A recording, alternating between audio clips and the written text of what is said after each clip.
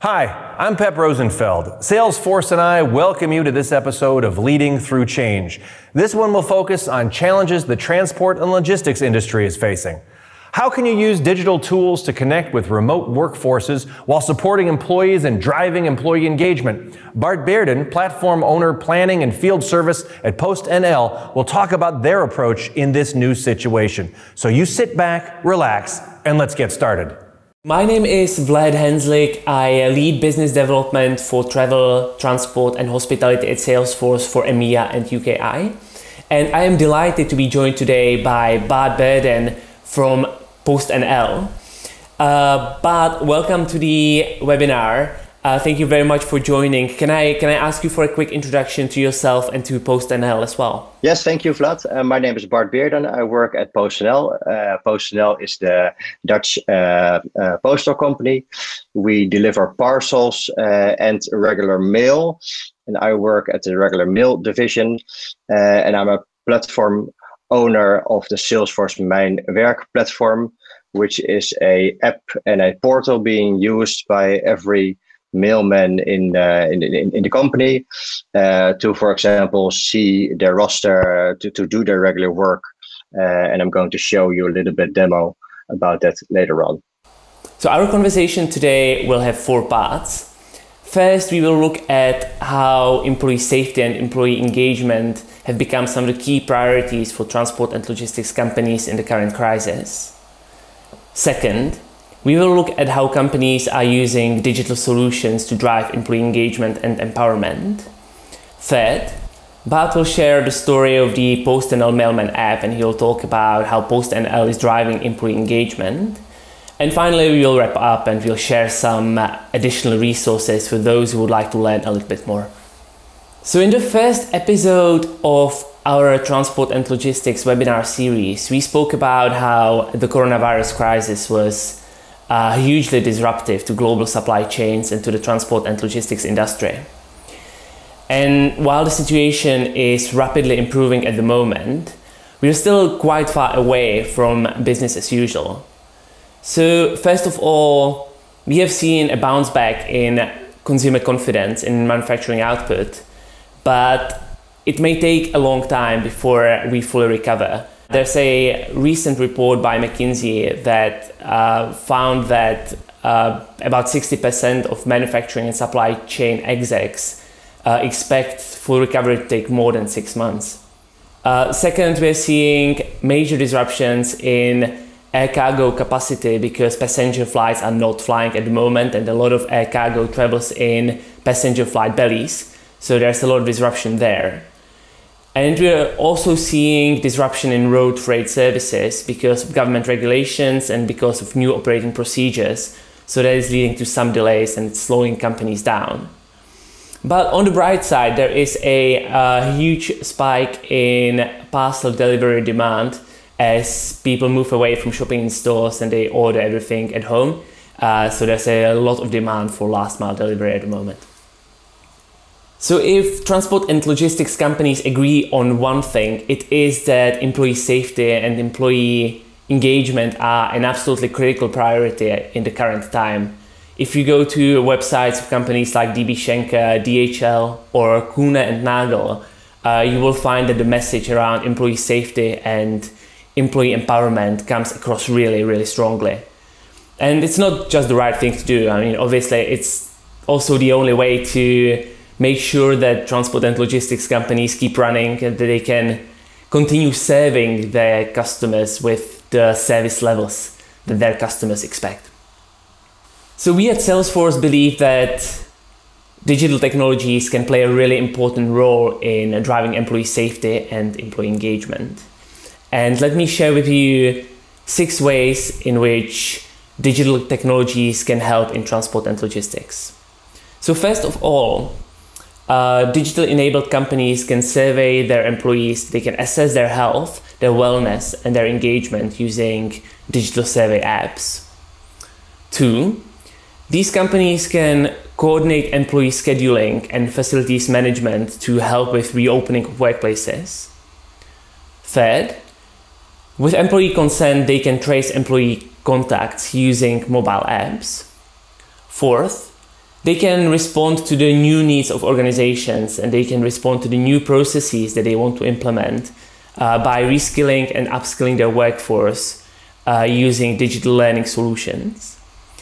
Fifth, uh, they can facilitate collaboration between employees who are uh, decentralized now. They're working from different places, uh, so digital collaboration tools have become far more important. And finally, they can also encourage two way communication between employees and between leadership of organizations through, for instance, employee communities or through internal social networks. So, Bart, I am very curious to hear your perspective on this topic. How is Post NL facing some of these challenges during the coronavirus crisis?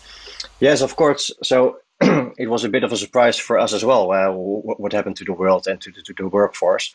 So first of all, to all of our staff, we had to work from home, and that was for some people kind of a change. For, for the people who were already working online and, and a lot of digital, um, it was just more of the same.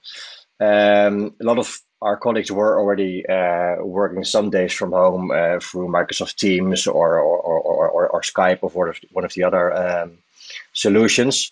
Um, but all of our operational workforce, they still had to, to continue their work like uh, they were they were used to. Um, all of our mailmen, for example, uh, they are working outside, so their work does not change. Um, our, our sorting employees, they are sorting uh, the mail in the sorting centers. Um, they were facing some some difficulties. That they had to they had to maintain distance to each other. Um, they were facing a lot of uh, increased sickness among um, among colleagues. Um, so a lot of colleagues were, were staying at home because one of their family members uh, were sick, or or they were sick themselves, or they knew someone that was sick, so they had to stay at home or their children could not go to school, so they were not able to go to the sorting centers and uh, and work there. So we were facing a lot of um, uh, decrease in, uh, in in the amount of employees that could help us, but at the same time. Um, exactly at the same time, the amount of mail that was being sent um, increased tremendously. So, for example, the regular uh, uh, postcards, uh, people uh, paying attention to each other, sending just a postcard to know that they were thinking about each other. They were increasing tremendously. And um, we have seen increasements of, of, of 200% in the amount of regular postcards that were that were being sent. So that that's amazing. But we, we did manage. So that's that's that's amazing. So clearly a very very challenging situation for Post NL. But you say that you managed. Can you can you tell us a little bit more about what Post NL did uh, to help cope with the situation? Yeah, so in, in terms of uh, in, in, terms of employees, uh, that, that was a little bit double because normally we have an increase of, of, of the amount of uh, increase of volume uh, during Christmas or during Santa Claus um, or during Black Friday, but in that um, period, uh, we are aware of it and we are able to plan it. Um, now we were quite a, quite surprised, so we did not know it, and, and a lot of people were sick. But at the same time, a lot of other employees uh, from other businesses, like like uh, working at the restaurants or uh, uh, working at other companies, they were able to come and help us. So we had a, big increase in the number of employees um, that were going to help us, and that was quite easy. And um, our mobile solution that that that I'm the product owner of is helping that. Um, for us. Brilliant. Well, I think that's a perfect segue into talking about the story of the uh, Post NL Mailman app. So, Bart, over to you. So, um, uh, back in 2015, we were facing um, the, the, the, the, issue uh, with the more digitalizing word, uh, work and uh, the decrease in, uh, in mail in the Netherlands we were uh, posing ourselves the question: How can we digitalize uh, our our um, our mail network more and more to cope up with the with the decrease in, in mail volumes? So we um, gave ourselves uh, four objectives. Uh, we had to digitally transform to deal with these circumstances without losing track of employee needs. Uh, and the four objectives that we gave ourselves is that we had to lower the costs. Um, the quality had to be stable. Um, we had to improve employee satisfaction, and we had to uh, enable um, uh, new services. So we had to make a platform that enabled new services. Because back in uh, 2015, most uh, of our operational work was was still sort of analog, not not, not digital. Um, for example, the, the mailman uh, had to see their roster from a uh, printed page in, in, in their depots. Um, when they um, uh, had been working more hours, they would have to ask that by by by text message or uh, by giving a small note to the team lead, um, and all kinds of uh, that, that, kind of stuff. So we were creating a um, uh, a digital environment for our employees. Um, so we built a platform, uh, which in English is called My Work, and in Dutch we call it Mijn Werk, uh, consisting of four critical components. Um, at first, we had the Mailman mobile app available on Android and iOS. Um, we were making a portal for uh, for, for the mailmen as well. Um, available on their on their laptops or personal computers. We were making a, a mobile app for our team leads, so they would have be would be digital on the streets as well. Um, and we were make, making a portal for our planners and also our team leads. And um, I'm going to show you mainly parts of our Mailman app because that's the, the, the most impressive part and uh, the stuff that's being mostly used.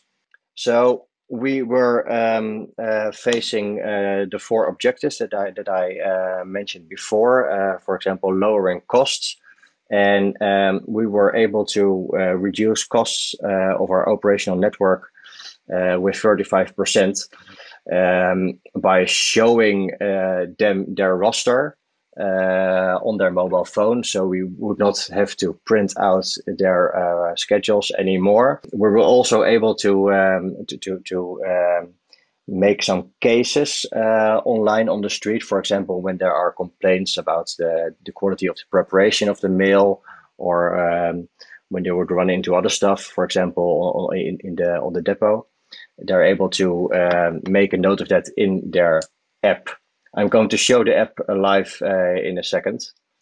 Um, the other objective uh, was to maintain stable quality. So in the app, um, uh, people are, are uh, receiving tasks, for example, to scan um, the barcodes of um, of packages, uh, small uh, packages that are being able to be delivered through the mailbox. so track and trace is, um, is possible. And um, when they are doing new routes, routes that they did not uh, do before, uh, we're able to show them the map of the, of the of the route and to show where all the addresses are and where the packages are.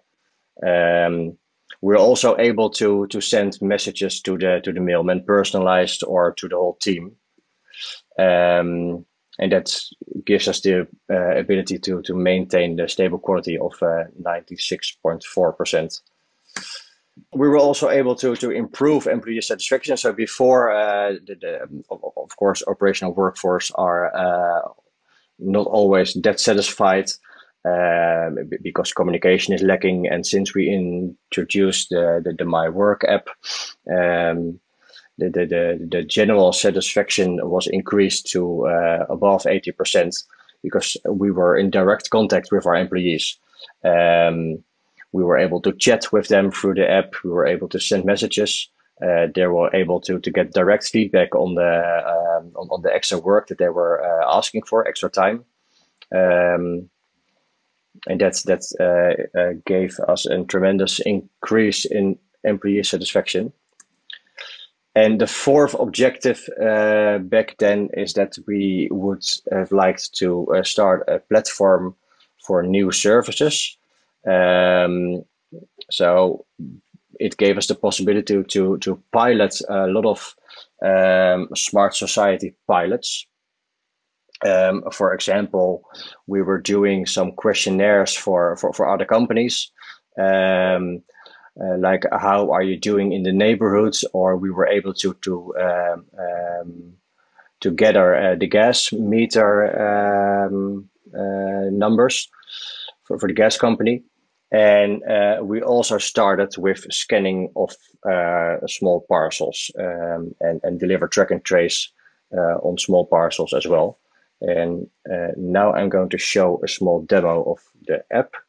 In the screen that you see that today I have a route. It's called the 305547, which indicates that it's in the postal code 30, uh, 3055 and it's route 47 and the, normally the mailmen know what it is. But if you don't know where it is, you can press the map and you can see where it is and say, oh, it's over there. And what you can also see is where uh, you have to pick up the mail. That's the orange pointer. And um, uh, you have to bike and where you have to start delivering your mail.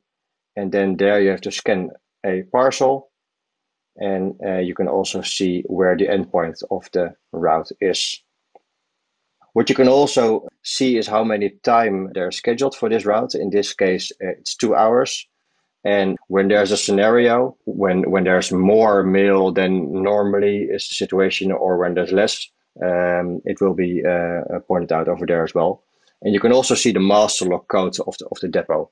Um, before uh, all mailmen had to wor- walk around with keys of the of the garage boxes. So, for example, when there are ten people working in the garage box, they had to work walk around with ten keys, um, and that's a big hassle.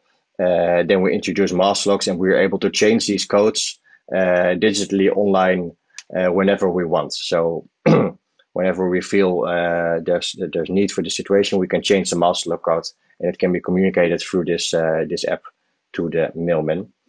Um, and normally, um, uh, when you start your day, you, you go to the to the today page and you press start, and at the same time, real time, that information is being sent to the team lead, so he knows that um, I am started, so I don't have to worry about um, this employee being started.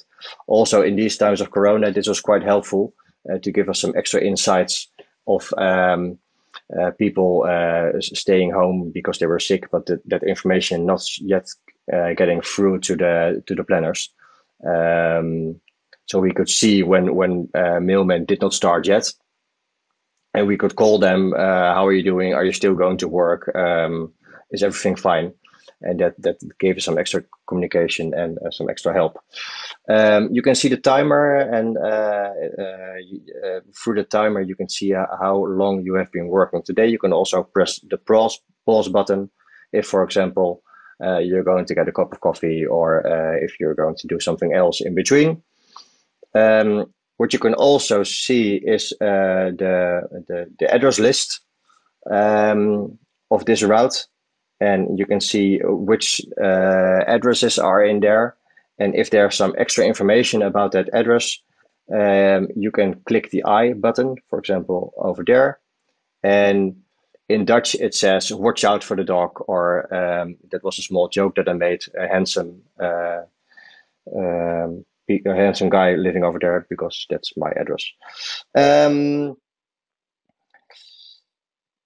And over here, um, I'm going back to the to the starting screen, and um, it shows you how many tasks you have to do. For example, there's one mailbox parcel that I still have to uh, to deliver on uh, house number 146, and uh, there's the scan button. And uh, so I'm on the street right now. Imagine I'm I'm on the street, and I press the scan button, and now you see the camera, and you go to the parcel, and it scans it, and now it says scan successful, and you get a small checkbox that is being scanned and is being delivered. I'm also able to change that status to, for example, say it's being delivered uh, with the neighbors or uh, it's going uh, back to the sender. Um, but in this case, I'm perfectly happy with this uh, this status. So it's being delivered. Um, I'm only two minutes in this route, but but it, it was extremely uh, not so busy today. So I'm going to stop this route right now. So I'm pressing the pressing the stop button, and it asks me, "Do you really want to stop?" And I press yes. Um, now, in the situation that I uh, did not scan these parcels yet, it would have asked me, uh, are you sure you want to stop? And there is still one parcel without a status. Do you want to give it a status? And that ensures us um, uh, the, the, quality that we want to maintain as well. Um, what I'm also able to do is, um, uh, for example, I can ask leave through the app. That saves us a lot of time as well. Um, and it shows me um, how much leave hours I still have. In this case, only one hour and 20 minutes. So I'm just going to work, I think. Uh, I can chat with my uh, colleagues. Uh, I can also do live chat with the with the admins. I can make a note of, of stuff that I see on the street. Um, and um, what I can also do is check if there are some open routes. So I go to open routes. And it shows me that at the moment there are no open routes. Um, and oh, there are open routes. It had to load. Um, so I can see there's one open route for the end of June. Um, it also shows me with uh, 00, that I'm on that on that day. Uh, I don't have a planning yet, so I do have the time. And uh, this route is open, and I can place a bid. And it's a route of two hours and 21 minutes. I don't know where it is, so I'm going to press the map button again. Oh, there it is and I can see, oh, it's over there, and I, I know that area. Let's bid on that route. So I'm going to press the bid button. Are you sure? Because you cannot uh, uh, cancel that bid anymore. Yes, I do. And now my bid is being placed. And you can imagine that in times of uh, uh in these these times with Corona, but also uh, before and after, um, having these kinds of methods uh, in the app will help us uh, cope with the, the planning changes a lot. Um, so the planners were just able to to push open routes to, to our mailmen, and they were just able to uh, bid on that route through the app. And um, once that bid is being placed, uh, the, the, the, planner can can align or assign that route to um, the designated uh, mailman, and he will get the feedback right away within the minute. I think that concludes the demo of the of the of the My Work app. Um, one thing that I forgot to mention is that we also have uh, knowledge, Salesforce knowledge in the app. So I can press here, and um, it will show me all kinds of knowledge articles, like uh, in Dutch, when do I get my salary? Uh, how do I make a Google account for the app, um, and, and, stuff like that. So all of our, um, you can call it your wiki or the Salesforce knowledge is in there as well. Um, so that will that will decrease the number of uh, of calls that are being placed to the to the help desk. But thank you very much for for sharing this. This is such an inspiring story, and it's great to see it brought to life through the demo as well. Um, you spoke about uh, how the app is helping you during the coronavirus times uh, through both tracking employees and following up with them if uh, they're not turning up for work and now it's helping you for planning. Uh, but you also showed us this knowledge management piece, and I I wonder whether this knowledge management piece could also be used to push information to your employees around new operating procedures or uh, around how to how to stay safe on the road. Yeah, so you, you could imagine in, in this in this uh, rapid changing environment of the corona information is that um, a lot of information was being developed um, during time. So uh, during the first days, we did not know anything about it yet, and um, so the, the, the Q and A pages uh, of, of, of the internal employees they were changing rapidly and changing almost every day. So we were able to push these knowledge pages um, uh, to the employees and giving them push messages. There's a new Q and A page. There's new information on the on the knowledge base uh, to tell them that there are, there was new information that was or might be uh, helpful to them. Brilliant. I think that's a that's a great example, but I want us to switch gears for a bit and think about the future.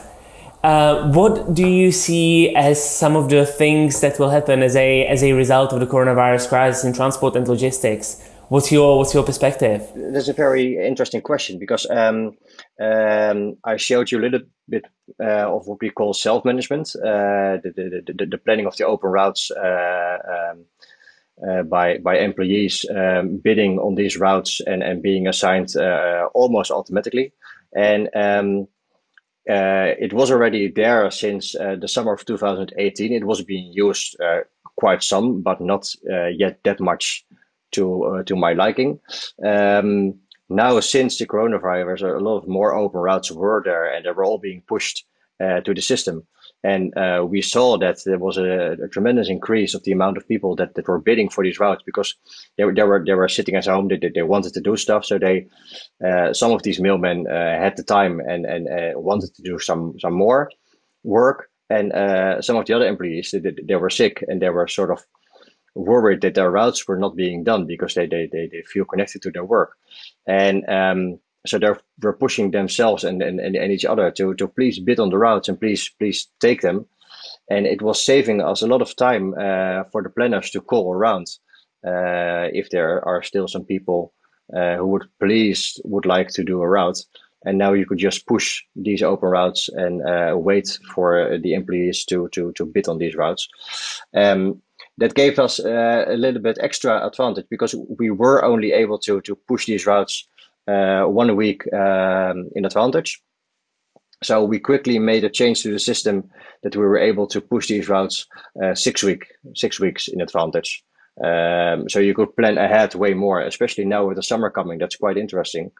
Um, it, it's also helpful when Corona is uh, is over, uh, so we could plan plan ahead way way better.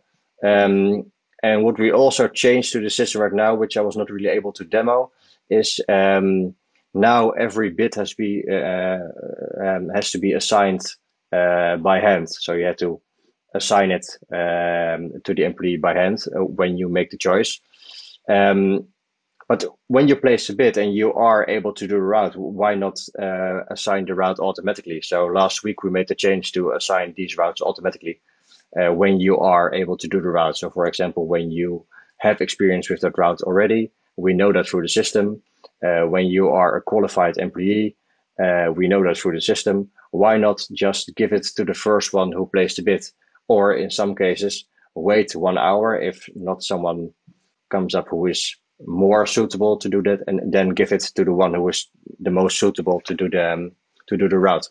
That helps us um, a lot to increase the, the, the amount of uh, of contract hours being being uh, being used. So uh, those are stuff that that that, that Corona helped us to uh, to develop uh, earlier or faster than we would have uh, planned before. Thank you, Bart. I think that brings us to the end of our conversation. Uh, thank you again for sharing your story and sharing the demo. Again, I, I thought it was really, really inspiring. Uh, if I have one takeaway from this conversation, it is that creating these digital experiences for, for employees and engaging your employees uh, is really important at this time. Uh, and it will continue to be very important going forward.